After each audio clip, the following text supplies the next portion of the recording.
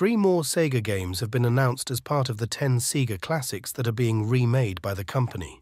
These are Panzer Dragoon, Neon Genesis Evangelion, and Sakura Taisen, which are all in the early stages of development.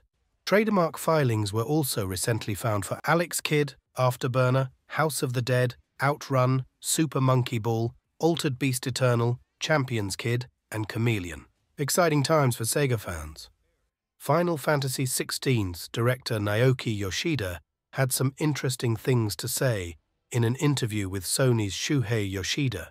He thinks the next game in the Final Fantasy series should be directed by someone new and younger, citing the need for fresh blood to keep the franchise relevant. While a solid entry in the series, Final Fantasy XVI did have its detractors.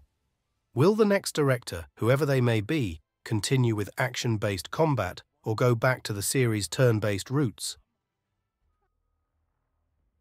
Details surrounding the development of Suicide Squad Kill the Justice League from Rocksteady Games have surfaced online. The live service game has reportedly been in development since 2017. There was talk of the studio having seen a pitch for a Superman game rejected, but this is not the case according to Jason Schreier. Time will tell whether or not spending seven years developing a Suicide Squad game was time and money well spent. And that's all your gaming news for today. Let us know your thoughts on today's stories in the comments.